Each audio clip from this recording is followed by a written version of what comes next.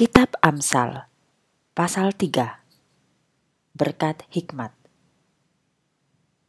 Hai anakku, jangan lupakan ajaranku. Ingatlah melakukan perintahku. Hal-hal yang kuajarkan kepadamu memberikan hidup yang baik dan lama, dan semua akan beres bagimu. Jangan biarkan kasih dan kesetiaan meninggalkan engkau. Ikatlah itu di lehermu dan tulislah pada hatimu.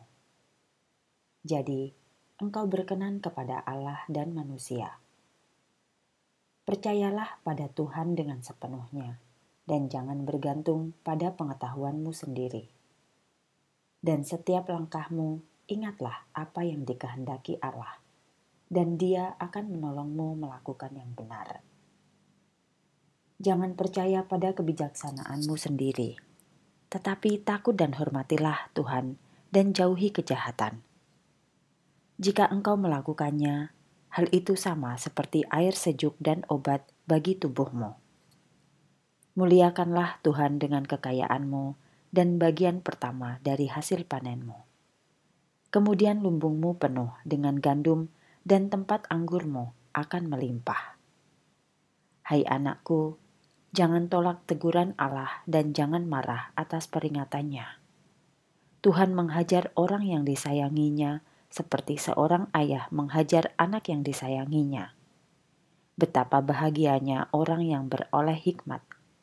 Mereka akan diberkati bila mereka mulai memahami. Keuntungan yang berasal dari hikmat lebih baik daripada perak dan emas murni. Hikmat lebih berharga daripada permata. Tidak ada yang engkau inginkan lebih berharga daripadanya. Dengan tangan kanannya, hikmat memberikan umur panjang dan dengan tangan kirinya, kekayaan dan kemuliaan. Hikmat akan menuntunmu kepada hidup sukacita dan damai. Hikmat seperti pohon yang memberikan kehidupan bagi orang yang berpegang padanya. Ia menjadi berkat bagi orang yang dekat padanya. Tuhan telah meletakkan dasar bumi dan langit dengan perantaraan hikmat dan pengertian. Dengan pengetahuannya, dijadikannya lautan dan awan yang menghasilkan hujan. Hai anakku, jangan biarkan hikmat lepas dari pandanganmu. Jagalah kemampuanmu untuk berpikir dan rencanakan sesuatu dengan bijaksana.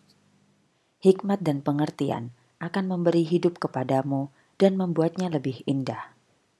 Selama engkau hidup, engkau tetap aman dan tidak pernah terjatuh. Bila engkau berbaring, engkau tidak ketakutan. Bila engkau beristirahat, tidurmu nyenyak. Tidak ada alasan bagimu untuk takut terhadap bencana yang datang tiba-tiba atau terhadap kehancuran yang terjadi atas orang jahat.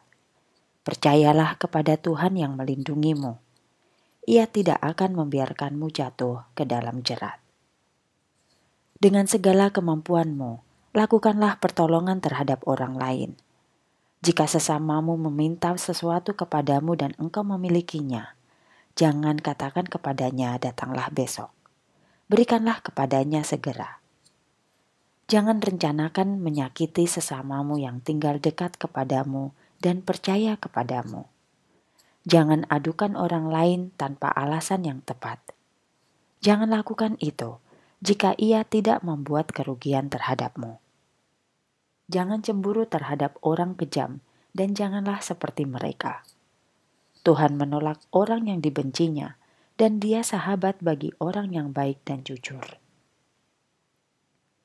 Tuhan mengutuk keluarga yang jahat, tetapi ia memberkati keluarga orang benar.